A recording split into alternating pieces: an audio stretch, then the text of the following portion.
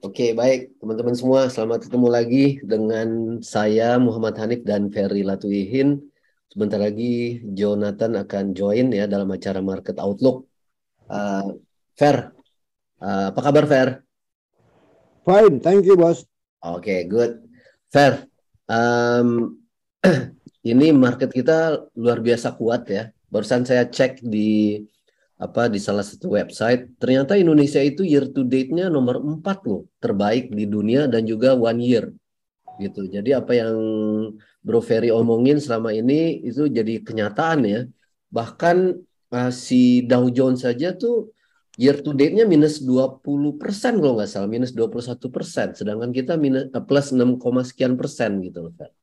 Nah apakah ini akan berlangsung terus nih Fer sampai akhir tahun? Gua iyalah, kalau kita lihat kembali lagi ke saya memang fundamentalis ya, saya seorang fundamentalis. Hmm. Jadi investasi itu saya lihat angka-angka fundamental ya, bukan hmm. cuma market sentimen tapi angka-angka fundamental and dengan long term view ya. Dan sejak yeah. awal kita sudah bilang ya kan indeks kita cukup kuat. Nah, di, apalagi di tengah badai yang sangat luar biasa di dunia ini ya, all over the world ya, the storm is so huge ya. Kita lihat Dow Jones bahkan bukan balik aja malah di bawah pre-pandemic level. Jadi sebelum pandemi itu masih sekitar 29.500 dan sekarang 28.000 something berarti di bawah pandemi level. Iya, betul, Fer. Who can imagine ya mm -mm. how uh, devastating the storm is ya kan? Mm -mm. Uh, financial turmoil ini kita malah ngacir terus bos sebelum yeah. sebelum pandemi indeks kita itu enam ribu enam ribu seratus ya yeah. sekarang pada pandemi masih bisa tujuh ribu seratus bahkan I'm still pretty sure of masih bisa ke 7.500 akhir tahun ini gitu ya. Kenapa? Karena kembali lagi kita lihat angka-angka fundamental kita diramalkan malah kuartal ketiga ini pertumbuhan 5,4 persen sampai 6 persen ya. Nah, jadi kita lihat PMI indeks kita juga saya rasa masih jauh di atas 50 ya mm-hmm. uh, untuk untuk rilis bulan September ini gitu loh ya. Mm-hmm. Jadi memang secara fundamentally speaking market kita cukup kuat and it's time to buy. Sebab mm-hmm. apa? Sebab kembali lagi the storm ya global storm sooner or later itu will be over. Nah, When Jadi, is that? Ah, ya jadi pada saat sekarang lagi dalam tekanan, sementara indeks kita ini sebetulnya nggak naik karena tekanan global gitu loh ya.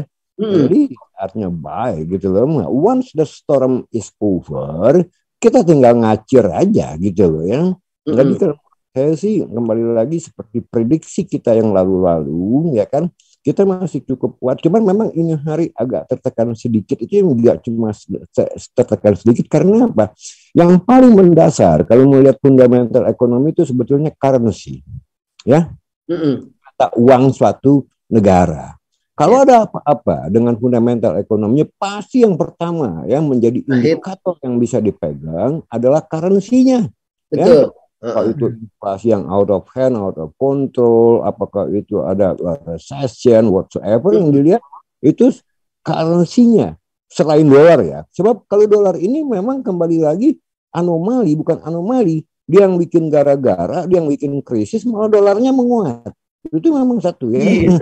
Yang aneh. Karena apa? Karena semua mata uang di dunia ini international monetary system is not longer based on gold tapi on dollar ya sejak Bretton Woods dulu ya. Jadi hmm. begitu Bretton Woods bubar tahun 70-an awal, semua based on dollar. Nah, jadi yeah. dia sendiri yang bikin borok, dia sendiri dolarnya kuat, malah negara lain yang yang yeah. ketiban, ketiban pulungnya gitu loh ya. Nah, yeah. itu exception ya dolar itu yeah. ya. Tapi kembali lagi di luar dolar area seperti euro, seperti Indonesia, Asia, Cina, Jepang semua harus dilihat currency-nya kalau kita ngomong fundamental ekonomi. Dan rupiah termasuk salah satu mata uang yang juga sekarang ini di tengah badai yang sangat luar biasa. Itu mata uang yang kuat, Bos. Ya, depresiasinya terhadap dolar itu termasuk yang paling rendah dibandingkan dengan yang lain-lain. Apalagi negara maju. Lihat pound sterling hancur habis-habisan. Berapa? 30 persen depresiasi kalau nggak salah ya.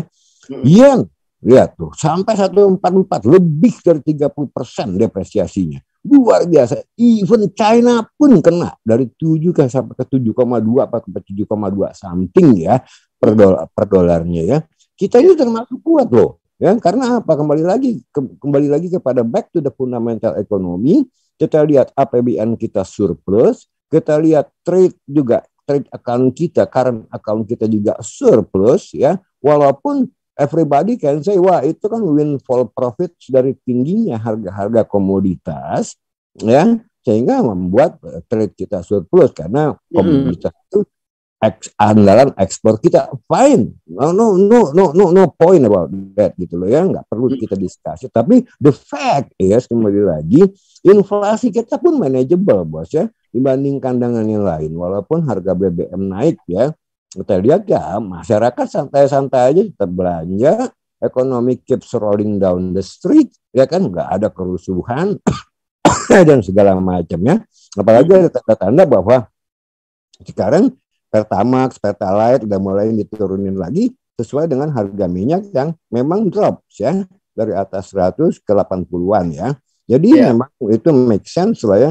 Nah, jadi ini taking all the numbers into account, saya yakin ya kan masih sangat yakin sampai akhir tahun ini indeks kita berpotensi ke 7.500. Hmm, I see. Oke. Okay. Ya? Thanks Fer. Nah ini ada Jonathan. Jonathan silakan Jo. Halo. Halo semuanya. Kalau mau nanya juga nih Prof, kalau mau nambahin sedikit. Kalau harga minyak sendiri nih aku pengen nanya. Apakah bakalan balik ke angka sebelumnya yang uh, sebelum pandemik juga misalkan dengan harga yang di bawah mungkin di bawah harga sekarang lagi nih gitu akan ya, balik ke harga normal. Dari tahun lalu pun sebetulnya dari salah satu episode tanam duit saya ramalkan itu bahwa akhir tahun ini 80-an cuman pada nggak nge aja gitu ya. Yeah. Karena kembali lagi akan terjadi sesuatu uh, uh, yang menurunkan tadi adalah kembali lagi demand will be down ya karena kita lihat ya dengan adanya resesi atau rumor mengenai resesi atau hmm. economic growth yang sangat-sangat benign sekali, yang sangat rendah sekali, tentu demand terhadap uh, oil is down, ya kan? Memang hmm. dari faktor supply-nya kalau kita ngomong oil juga, once misalnya, karena ini kan marketnya monopolistik ya, dikuasai oleh OPEC Plus ya, Nah, kalau OPEC ini mau bilang oke okay, kita reducing the supply of oil, harganya akan naik. Tapi kalau dari demand side, saya kita udah prediksi dari dari episode sebelum-sebelumnya tahun lalu bahwa ini nggak mungkin uh, sampai 140 bahkan waktu itu JP Morgan meramalkan 200. Saya bilang you you make a best shit statement. Mana ada itu kan itu kan rumah besar Goldman Sachs dia ramalkan bahwa Sri bahwa bahwa apa bahwa minyak waktu waktu di atas 120 ya. Dia ramalkan yang kedua no, I didn't agree with you. Dia punya posisi kali fair. Eh?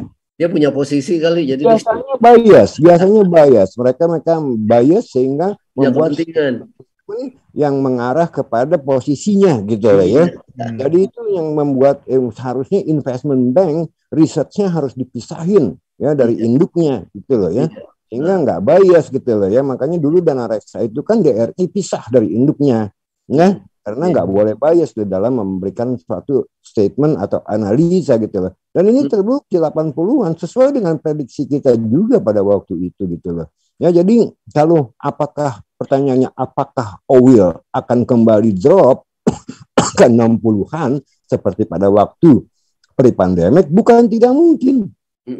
The hmm. probability is high bahwa memang ini semua global economy entering a recession uh, path ya, memasuki masa resesi ya kan akhir tahun ini sampai tahun depan sehingga demand for oil down dan automatically by definition harga oil akan down dan kemarin udah sempat jatuh untuk untuk WT, WTI udah sempat jatuh ke 77 loh WTI West Texas uh, uh, oil ya. Well, sekarang balik lagi ya. Tapi trennya menurut saya situ down. Apakah ini bagus untuk Indonesia? Tentu bagus. Nah, sehingga kita tekanan inflasi kita semakin rendah gitu loh ya. Jadi hmm. kalau menurut saya sih kembali lagi ya kan we are decoupled. Kita tuh yeah. terpisah dari negara-negara maju ya. Pertama karena struktur ekonomi kita berbeda. ya kita dikuasai oleh UMKM, output kita 64 persen, 62 persen itu output dari usaha menengah kecil dan menengah gitu ya. Hmm. Yang kedua, mereka pada sibuk dengan supply chain disruption. Kita ya big companies kita nggak kena supply chain disruption karena kita nggak sebesar Apple, nggak sebesar hmm. Worldwide ya. Yang, yang boleh bilang production chain all over the world gitu loh ya. Hmm. Kita kan Enggak ya kan kita kayak Astra aja Indomie, Indofood gitu kan nggak sampai ini semua lokal dibikin gitu kan ya. Jadi yeah. nggak ada supply chain disruption gitu loh ya. Yeah. Nah di samping struktur ekonomi yang memang dominan usaha kecil dan menengah gitu loh ya. Jadi nggak mm -hmm. ada alasan to be worried about our market gitu loh. Makanya saya bilang saya advice yang saya advice itu bukan pemain kecil pula lagi kan teman-teman tahu itu pemain yang 50 m kelasnya hmm. ya jadi mereka pun ikutan gitu ya jadi iya. nggak yeah. usah worry lah ya jadi uh, kalau menurut saya just buy and hold outlook ke depan memang secara global is quite gloomy tapi to a great extent we are decoupled from the rest of the world hmm. yeah. malah bagus sebenarnya untuk uh, ke depannya malah bisa jadi peluang ya untuk uh, malah kita yang misalkan mau investasi di, di sekarang atau nggak mau malah mau oh, kalau saya lihat BCA, malah, malah bagus ya. ya gini kalau my horizon I stretch it out ke 10 tahun mendatang Indonesia is one of the brightest spot in the world loh ya karena hmm. apa dengan kejadian storm yang begini besarnya negara-negara maju nggak mungkin lagi mereka posting economic growth higher than 2% Betul. Nggak mungkin, sangat berat sekali buat mereka ya. Investment will be will, will drop gitu ya, will be dropping ya di negara-negara maju. Nah sekarang where should the liquidity go dari negara-negara maju? Pasti ke negara-negara seperti di Asia Tenggara ini gitu ya, seperti Indonesia, hmm. Thailand, Filipina, Malaysia, probably juga Bangladesh, and so on and so on. Nah ini kalau kita lihat outlook 10 tahun ke depan dan buat teman-teman yang secara reguler mau bikin pensiun fund sendiri ya kan yeah. tiap bulan masuk ke reksadana saham I uh, recommend that a very very uh, uh, strong yeah. jadi nggak usah takut ya mm. jadi if you are a wage earner misalnya ya you get so much separuh atau sebagian you put untuk your pension funds you manage it yourself gitu kan you build it up yourself your pension fund taruh aja berapa persen dari your income tiap bulan secara regularly di reksadana uh, saham atau campuran saham lah kalau menurut saya sebab uh, my outlook 10 years from now is still quite rosy untuk negara-negara di Asia Tenggara seperti Indonesia, Malaysia, Thailand, Filipina, and so on and so on. Jadi nggak usah takut gitu loh ya. Kalau memang jangka pendek tiap hari sih market pasti ups and downs. Kalau nggak hijau ya merah, nggak ada market pada trading day diam aja gitu deh. Ya, jadi semuanya either it is up atau down gitu. Tapi I'm, what I'm saying is you have to ride the trend. Ya kita harus riding the trend jangka panjang ya. Jadi menurut saya sih ya apalagi sekarang nih teman-teman udah gampang sekali dengan adanya fintech seperti tanam duit Ya, kalau dulu kan mau beli reksadana harus jutaan, miliaran barangkali juga. Nelpon-nelpon juga dulu uh, aset manajernya. Sekarang tinggal klik klik klik klik sepuluh ribu pun bisa istilahnya ya, iya, apalagi iya. juta gitu kan ya. Iya. Jadi nggak ada alasan sekarang menurut saya untuk gaptek gitu loh zaman sekarang ya. Jadi kayak gitu kalau nanti orang-orang bilang sampean kam seupai gitu kan nggak ngerti gini-gini kan ya. ya jadi setuju banget, uh, Fer. Kenapa? Setuju banget kalau apa namanya investasi itu memang harus uh, lihatnya long term ya, jangan yang short term. Abaikan yang uh, apa? Uh, ini bukan cuma harian. Yang penting long termnya kayak gimana, view dari ekonomi makro, ya enggak. Terus uh, itu impactnya kan ke market, artinya ini, kayak bos, bukan cuma ini ini bukan sesuatu yang normatif sifatnya sebagai nasihat. Secara hmm. empiris pun orang yang main buy and hold trading the trend ketimbang yang daily trading tak tak tak tok tak tak tak tok itu lebih menguntungkan bos returnnya lebih tinggi ya dibandingkan yang tiap hari was was ngeliatin market buy sell buy sell buy sell ya kan keluar masuk kayak ingus gitu ya returnnya malah lebih rendah mana-mana dibandingkan yang oke okay, I buy and I go to sleep gitu I yeah. have it I have faith in our economic fundamental. I have faith in my investment. So why should I worry about that? Kan yeah. begitu ya. Dan itu secara empiris pun memang dibenarkan bahwa yang kayak begitu returnnya lebih tinggi ketimbang orang yang tiap hari tek tak tek tok tek tak tek tak. Bas, kenapa? Basically you cannot predict the market every day gitu loh ya. Hmm. Market follow a random walk ya jadi nggak akan bisa lah ya. Random ya Fer ya? Random nggak bisa ya kebetulan Nggak linear ya? Nah, ya saya pernah tes lah waktu saya masih kuliah gitu kan dengan berbagai kuantitatif method nggak bisa gitu loh. Jadi kalau tiap hari kita itu sangat hektik sekali gitu loh. Nah satu-satu yang kita bisa trust adalah the trend. Nah kalau kita ngomong the trend kita harus tahu masalah ekonomi. Iya, mm -mm. iya, yeah. betul banget. Setuju banget. Betul banget. Mungkin ada tambahan dari Chief mau nambahin apa? Mau nanya dulu nih, uh, Joe, thank you. Uh, Bro Ferry, itu inflasi ternyata 5,95 persen tahunan ya. Jadi barusan ada data tuh. So uh, dia bilang kan kalau nggak salah naiknya 1,8 persen ya. Ternyata nggak sampai 1,8 persen ya naiknya di uh, sebulan terakhir. Um, apakah inflasi ini sampai akhir tahun ini bisa jadi let's say 8 persen barangkali gitu Fer atau di atas tujuh enggak, enggak, I'm not pretty, uh, saya nggak yakin inflasi kita ke 8 persen ya. Mm -mm. Bah, memang ada price pressure itu memang iyalah kayak sekarang kita lihat ya. Dan soalnya begini, inflasi itu nanjaknya diminishing. Mm -mm. Ah, ya, okay. enggak increasing gitu loh ya. Jadi marginal marginal marginal additionnya itu diminishing. Jadi yeah. kayak sekarang nih ya, misalnya dari 4,6 persen ke 5,8 ya. 5,5. Ya. Hmm. Ah, Nah ini kan naiknya 1,2 persen tuh. Kan ya, ah, ya. Nah biasanya nggak naik lagi 1,3 persen, biasanya naiknya less dan 1,2 persen gitu loh ya. Ya, hmm. diminishing gitu loh ya, marginal ininya, marginal increase-nya. Nah, yeah. kalau menurut saya sih 7 persen masih quite possible. Iya, oke. Okay. Itu upper upper boundnya tujuh persen ya.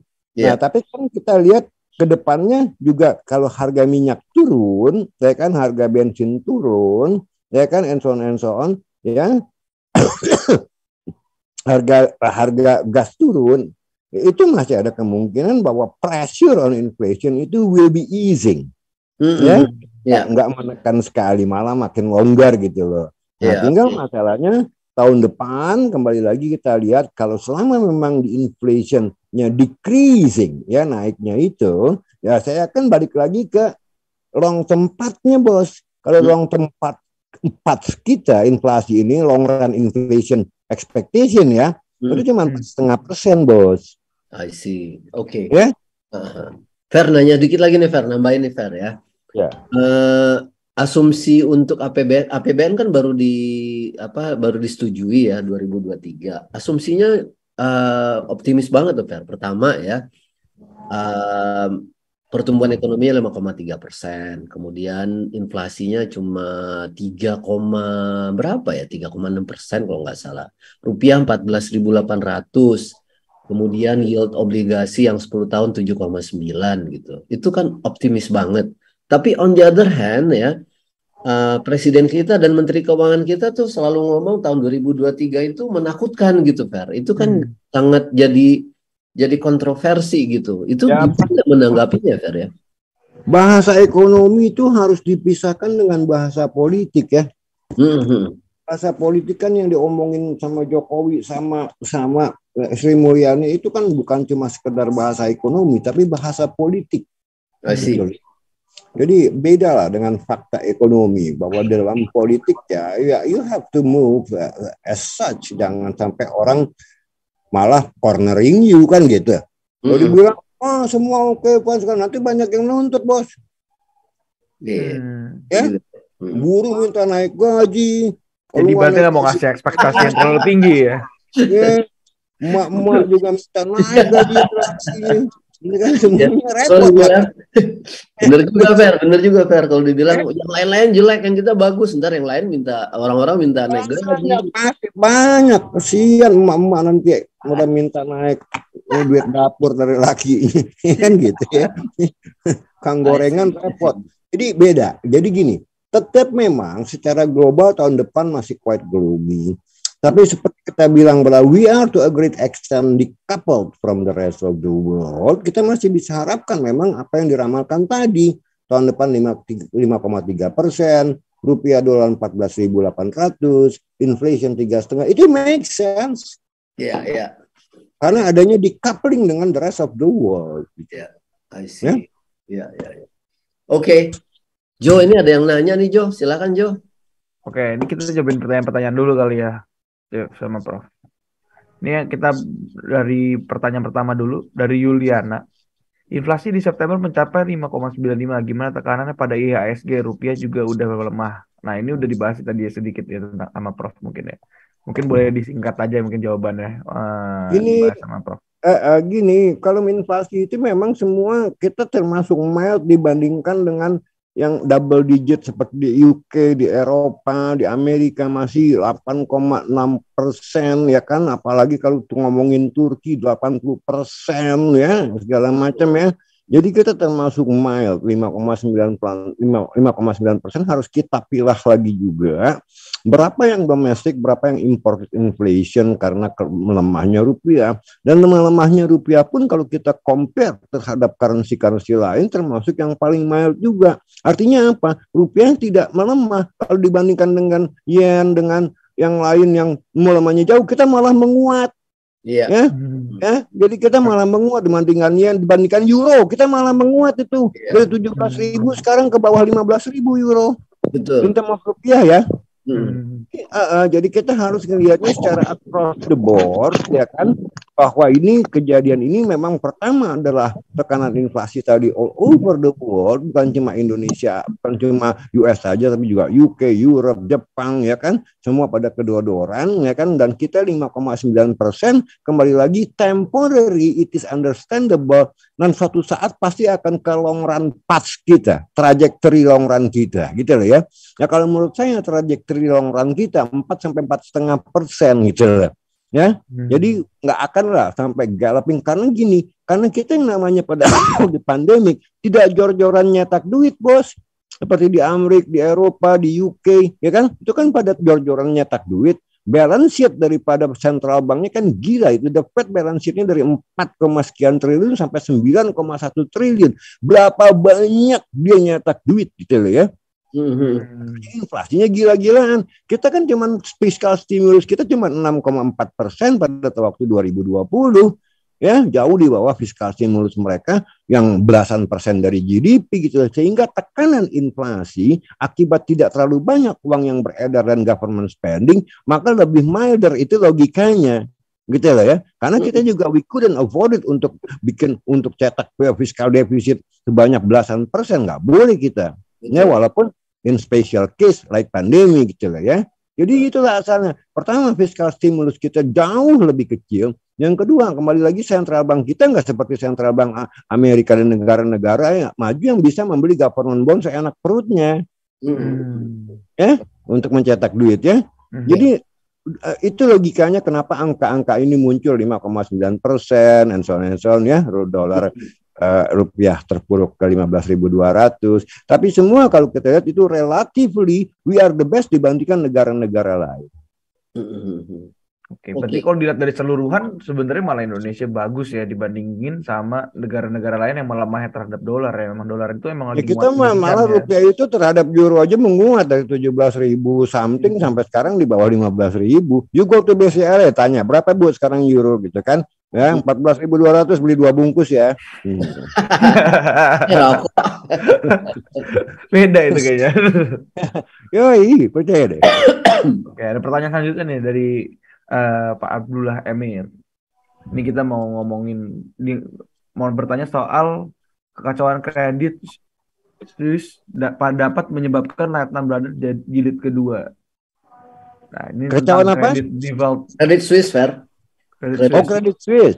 Uh, ya gini, kalau eh, saya belum tahu kasusnya apakah Credit Swiss ini disebabkan oleh uh, uh, uh, derivatif market yang mereka lakukan atau memang karena kredit macet ya dari nasabah-nasabahnya. Sebab ini dua hal yang berbeda.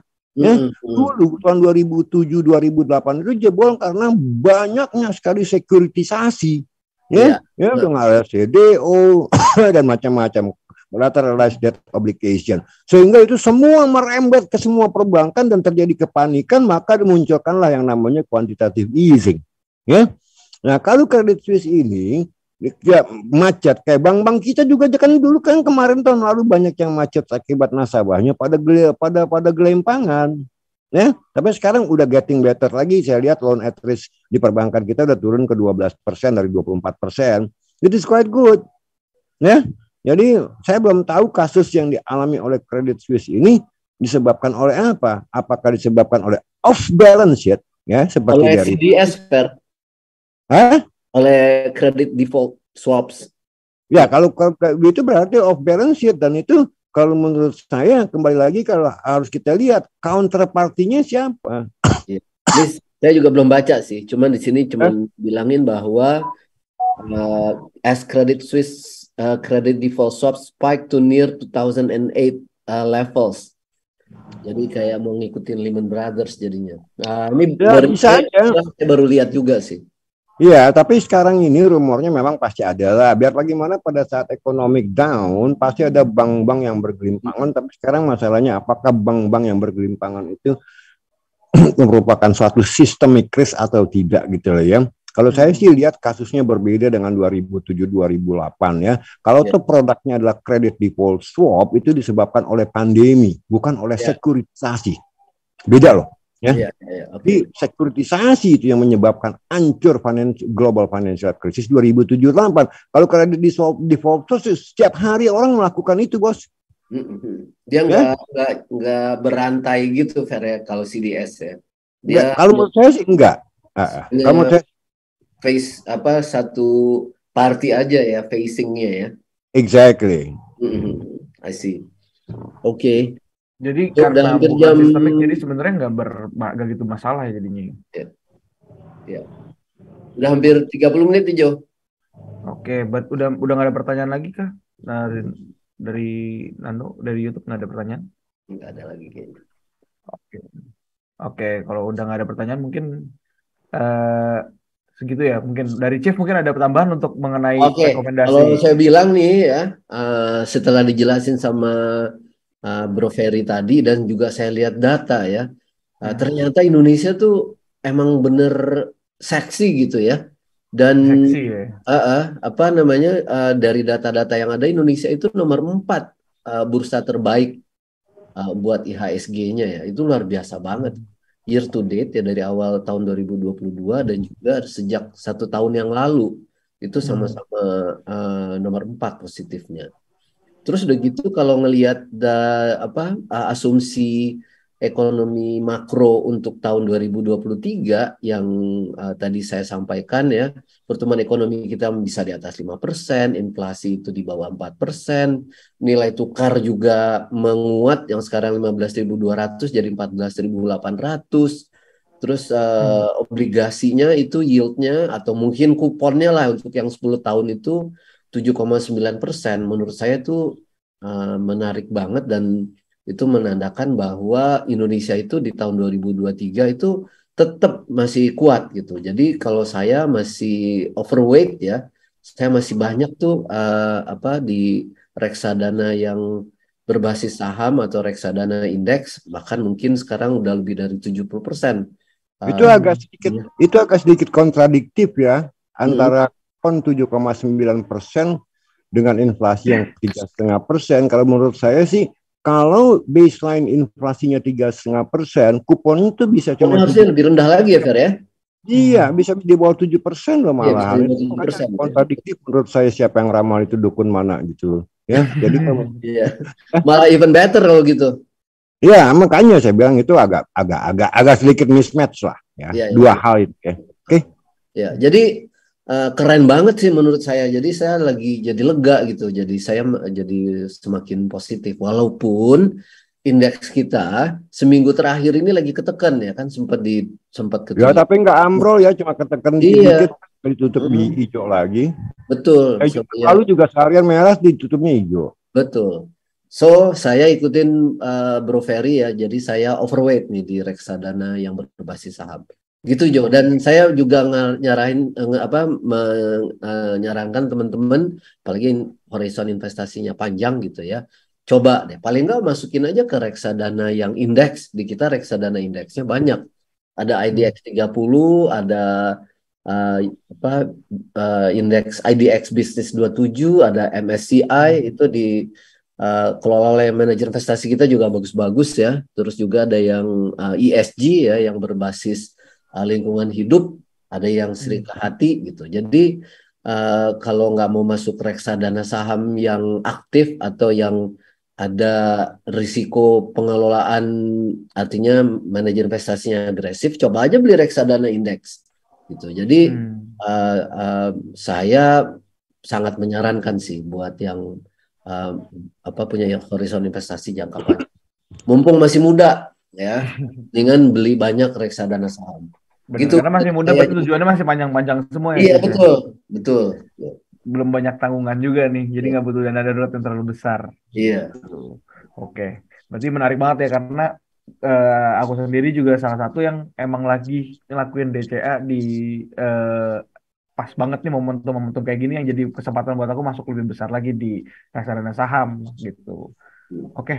uh, pembahasan hari ini buat kesimpulan juga udah dibahas tadi sama Chief, terus uh, bagus banget ya info dari Prof dan Chief tadi untuk uh, ngeyakinin kita sebenarnya kalau sebenarnya Indonesia ini bagus banget gitu. Mungkin yang lainnya nggak uh, Indonesia pas lagi baik-baik aja semua negara Indonesia nggak gitu kelihatan. Tapi ternyata pas negara lain tumbang di ekonominya kurang baik, ternyata Indonesia jadi kelihatan menonjol di situ. Indonesia tuh masih bertahan di atas angin gitu. Ya. Walau, walaupun masih tertekan tapi itu masih masih bagus banget gitu. Ya. Gitu deh okay. kesimpulannya. Terima kasih semuanya yang udah nonton. Aku Jonathan host hari ini. Terus ada uh, Chief Hanif juga sebagai uh, co-founder dari Duit dan ada chief ekonomis kita juga uh, Pak, Pak Ferry di sini dan market otak ini sampai sini aja. Terima kasih semuanya yang udah join. Thank you. Yuk sampai ketemu minggu depan. Sampai ketemu minggu depan.